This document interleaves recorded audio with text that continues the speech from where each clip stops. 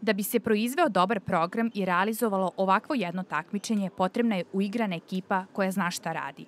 14 dana dnevno po 8 sati su neprestano radili kako bi gledalcima dočarali atmosferu i stvorili osjećaj kao da gledaju uživo.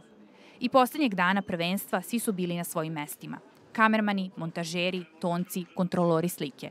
Zbog prirode posla nisu želeli da se snimaju, ali smo prošetali kroz reportažna kola da vidimo kako izgleda kada se radi ovakav jedan prenos.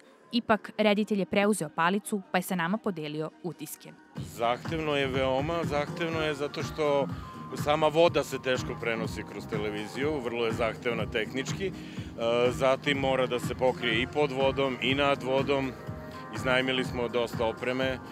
Umetničko plivanje radano sa 9 kamera, a ovo plivanje je takmičarsko sa 12 kamera. Moram da istaknem lepu saradnju sa portugalskom ekipom koji su radili podvodne kamere, kamere na šinama. Na ovom umetničkom plivanju su imali dual lens kameru koja istovremeno slikala i nad i iznad vode. Prvi put smo se sreli s tom kamerom. Ovaj, a ovde na plivanju imamo i kameru na sajli iznad bazena koja fenomenalno prikazuje odnos takmičara.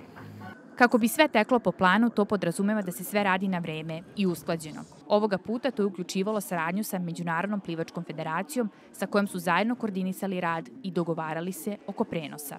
Mi radimo za EBU, odnosno za Euroviziju. Znači, od njih imamo zadatke vremena, tajminge koje treba da ispoštujemo. Počinjemo malo pre prenosa, lepe slike Beograda, uvod u celu priču, zatim trke, dodale, trke, dodale, trke, dodale i završavamo sa jednim pregledom dana i ovaj i na kraju verovatno pregledom celog takmičenja. Protokol ima, to se zove multi running order, odnosno mi imamo tačno u minutu, sekundu sve šta kad počinje, kad se završava. Imamo komunikaciju sa organizatorom oko startova, počet, krajeva, dodela e, i sve se ispoštuje. Ovo je prvo veliko takmičenje u vodenim sportovima koje je posle 51 godinu održano u Beogradu. Na čak tri lokacije takmičari iz oko 40 zemalja u četiri discipline imali su priliku da se bore za medalje.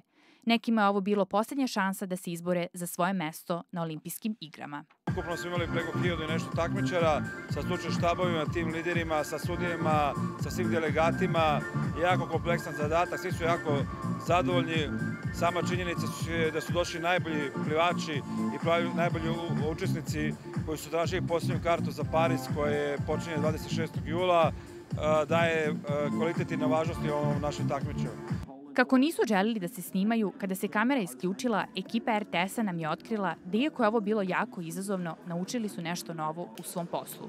Zato i očekuju da će moći to da pokažu da će imati još ovakvih izazova u karijeri.